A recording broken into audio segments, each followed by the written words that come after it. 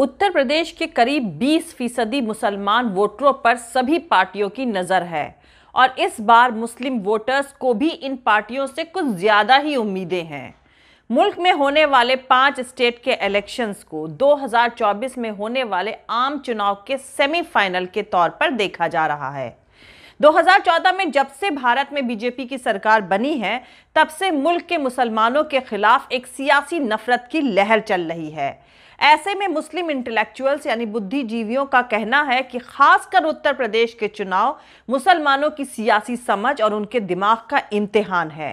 क्योंकि भारतीय जनता पार्टी विधानसभा और लोकसभा के चुनाव में मुस्लिम वोटर्स के बंटवारे से अपनी चुनावी जीत को आसान बनाती आई है।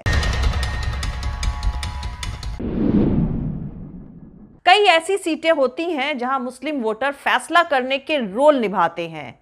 बीते दिनों उत्तर प्रदेश के मुख्यमंत्री योगी आदित्यनाथ ने कहा था कि उत्तर प्रदेश में चुनाव 80 फ़ीसदी वर्सेस 20 फ़ीसदी होगा। ऑपोजिशन ने इस बयान को पोलराइजेशन यानी ध्रुवीकरण करने वाला बयान बताया था। हालाँकि बीजेपी पर हमेशा से ही मेजॉरिटी कम्युनिटी की सियासत करने के इल्ज़ाम लगते आए हैं। वहीं दूसरी तरफ़ पाँच राज्यों में होने वाले विधानसभा चुनाव में सबसे ज़्यादा सियासी गर्मी उत्तर प्रदेश में ही महसूस करी जा रही है। समाजवादी पार्टी के सांसद आज़म खान के बेटे अब्दुल्ला आज़म ने बड़ा बयान दिया है। अब्दुल्ला आज़म ने कहा है कि उनकी सिक्योरिटी में जो पुलिस वाले तैनात किए गए हैं, उन पर उन्हें भरोसा नहीं है। उन्होंने शक ज़ाहिर करते हुए कहा कि उनकी सिक्योरिटी में तैनात पुलिस वाले ही उनको गोली मार सकते हैं। अब्दुल्ला आज़म ने इल्ज़ाम लगाया है कि ये पुलिस वाले उनकी हिफाजत के लिए नहीं, बल्कि उनकी रेकी करने के लिए लगाए गए हैं। कि वो कहाँ पर हैं, किससे मिल रहे हैं, कब मिल रहे हैं। समाजवादी पार्टी ने अब्दुल्ला आज़म को स्वार टांडा से विधानसभा चुनाव में टिकट दिया है, जबकि उनके पिता आज़म खान को रामपुर शहर से उम्मीदवार बनाया गया है। जेल से बाहर आने के बाद से अब्दुल्ला आज़म लगातार भाजपा सरकार पर निशाना साधते रहे हैं। फर्जी बर्थ सर्टिफिकेट बनवाने और पेश करने के इल्ज़ाम में अब्दुल्ला आज़म खान पर केस दर्ज हुआ था, इसके बाद से ही वो सीतापुर जेल में बंद थे। इसके पहले भी अब्दुल्ला आज़म खान ने कहा था कि उनके पिता आज़म खान जेल में बेहद खराब हालात में हैं और यहाँ तक कि उनकी मेडिकल ज़रूरतों का भी ठीक से ध्यान नहीं रखा गया। अब्दुल्ला आज़म ने कहा था कि उनके पिता को कोरोना हुआ था, लेकिन नौ दिन बाद उन्हें अस्पताल ले जाया गया। ऐसे में उनके पिता मरते मरते बचे थे। अब्दुल्ला ने कहा था कि उनके पिता को सी क्लास जेल में रखा गया है और वो आठ बाई आठ की कोठरी में बंद हैं। यहाँ पर आपको बता दूँ कि रामपुर ज़िले में पाँच विधानसभा सीटें हैं। यहाँ दूसरे चरण में पाँचों सीटों पर 14 फरवरी को मतदान होंगे। दूसरी तरफ़ समाजवादी पार्टी के चीफ अखिलेश यादव ने फ्राइडे को इल्ज़ाम लगाया है कि उनके हेलीकॉप्टर को साजिशन दिल्ली में रोका रखा गया। अखिलेश यादव पश्चिमी उत्तर प्रदेश के मुजफ्फरनगर में एक प्रेस कॉन्फ्रेंस करने जा रहे थे। लेकिन इससे पहले उन्होंने ट्वीट करके बताया कि बिना वजह बताए उनके हेलीकॉप्टर को दिल्ली में रोककर रखा गया है, जबकि बीजेपी के एक बड़े नेता के हेलीकॉप्टर को जाने दिया गया है। उन्होंने इस सियासी तमाशे का इल्ज़ाम सीधे सीधे बीजेपी पर लगाया।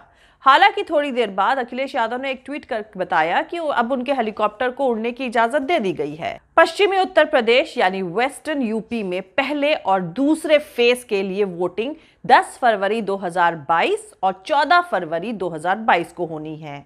इस इलाके में समाजवादी पार्टी का गठबंधन राष्ट्रीय लोकदल के साथ है। बीजेपी के तमाम नेता भी इस इलाके में पूरी अपनी ताकत झोंक रहे हैं। मुख्यमंत्री योगी आदित्यनाथ फ्राइडे को मेरठ में थे, जबकि बीजेपी के national president JP Nadda Shahjahanpur में रहे। बीजेपी के प्रदेश अध्यक्ष स्वतंत्र देव सिंह ने मेरठ की गलियों में घूम घूम कर लोगों से वोट मांगे। अमित शाह कैराना और मथुरा में डोर टू डोर चुनाव कैंपेन कर चुके हैं। अगले कुछ दिनों में उत्तर प्रदेश, उत्तराखंड, पंजाब, गोवा और मणिपुर में विधानसभा चुनाव होने हैं। पंजाब के अलावा बाकी चार राज्यों में बीजेपी सत्ता में है।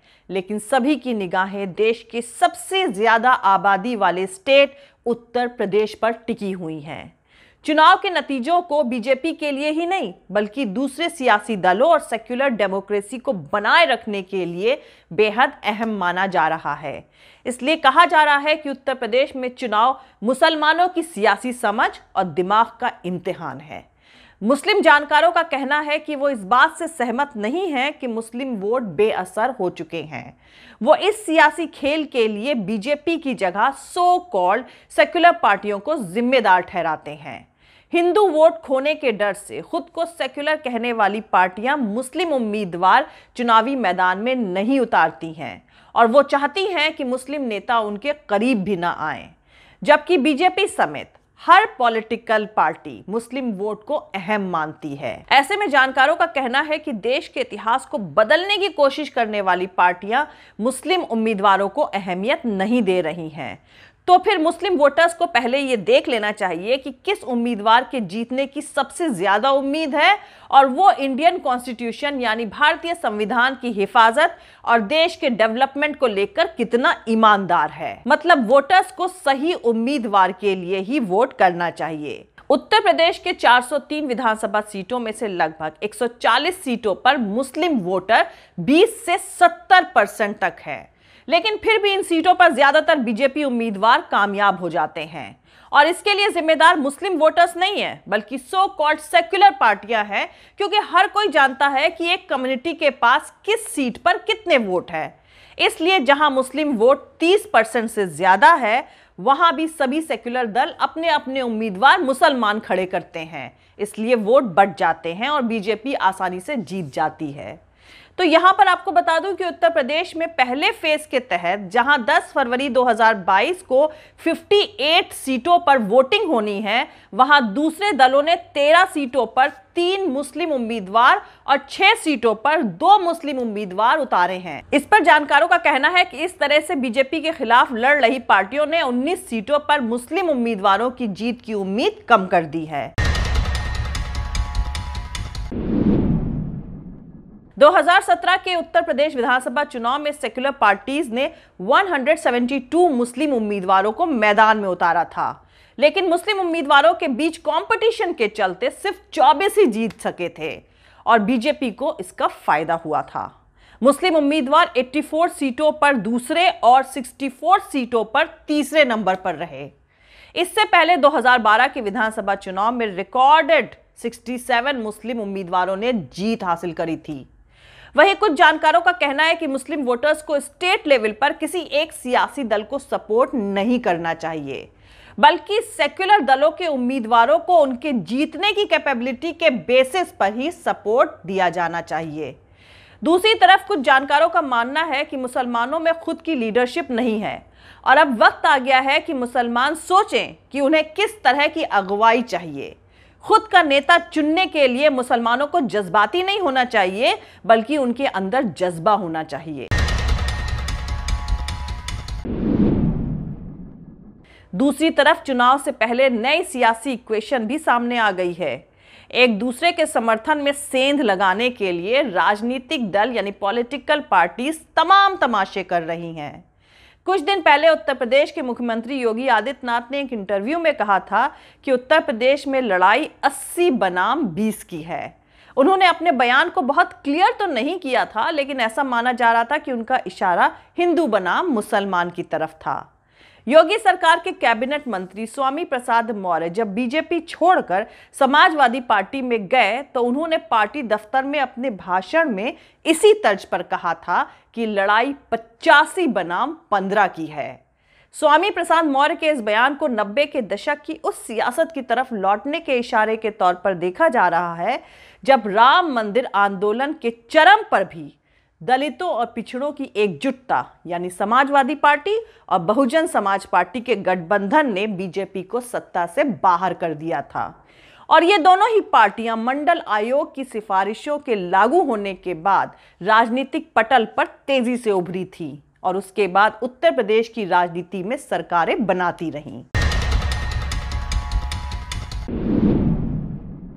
साल 2011 की जनगणना के मुताबिक, उत्तर प्रदेश में अनुसूचित जाति की जनसंख्या 21.1 परसेंट और अनुसूचित जनजाति की आबादी 1.1 परसेंट है, जबकि पिछड़ी जातियों की आबादी 50 परसेंट से ज़्यादा है। बहुजन समाज की चर्चा जब भी होती है, तब इस तबके में मुस्लिम कम्युनिटी की आबादी को भी जोड़ दिया जाता है और इस बेस पर दलित, पिछड़ों और माइनॉरिटीज को 85 परसेंट से ज़्यादा बताया जाता है। 85 बनाम 15 की राजनीति का यही बेस है। और सियासत के जानकारों का कहना है कि इस बेस पर अगर वोटों का ध्रुवीकरण होता है तो यकीनन बीजेपी जो हिंदू मुसलमान के नाम पोलराइजेशन यानी ध्रुवीकरण कर रही है, उस पर भी वो भारी पड़ेगा। हालाँकि यह भी माना जा रहा है कि तमाम पिछड़ी और अनुसूचित जातियों को अपनी तरफ़ करने की बीजेपी की कोशिशों के बाद अब नब्बे के दशक वाले जातीय ध्रुवीकरण की उम्मीद नहीं है। और इस ध्रुवीकरण में दलित कम्युनिटी का एक बड़ा हिस्सा समाजवादी पार्टी गठबंधन से अलग है और वो या तो बीएसपी के साथ है या फिर बीजेपी के। इसका दूसरा साइड यह भी है कि करीब तीन दशक की सियासी उठापटक में सिर्फ़ जातियों के बेस पर ही राजनीतिक रुझान तय नहीं हो रहे हैं, बल्कि हर राजनीतिक पार्टी में हर कैटेगरी के लोग मौजूद हैं। ऐसे हालात में जाति के बेस पर कोई सियासी पार्टी शायद वैसी एग्रेसिव राजनीति ना कर सके जैसे कि नब्बे की दशक में हो रही थी। उसके बाद से सभी को साथ लेकर चलना ही सियासी दलों की ज़रूरत बन चुकी है। और इसी बेस पर हर पार्टी अपने अपने तरह से सोशल इंजीनियरिंग में लगी हुई है। जय हिंद, सत्यमेव जयते, अल्लाह हाफिज़। दोस्तों, हमारा पूरा वीडियो और दूसरे और वीडियोस देखने के लिए हमारा YouTube channel political Tamasha with doctor Arshi को सब्सक्राइब करके वहाँ पे लगी बेल आइकॉन को ज़रूर दबा दें ताकि आपको हमारे आने वाले हर वीडियो की अपडेट्स मिलती रहे। और दोस्तों, अगर आपको हमारा काम पसंद आता है, हमारे वीडियोज़ पसंद आते हैं तो W D R Arshi Khan पर जाकर डोनेट करके आप हमारे काम को सपोर्ट कर सकते हैं। दोस्तों, अगर आपको हमारा वीडियो पसंद आता है तो लाइक और शेयर करना हरगिज़ नहीं भूलें। आप हमें फॉलो भी कर सकते हैं हमारे ट्विटर इंस्टाग्राम और फेसबुक पेज पर। मेरा ट्विटर हैंडल है at the rate of Arshi Aziz Khan thank you मिलते हैं अगले वीडियो में।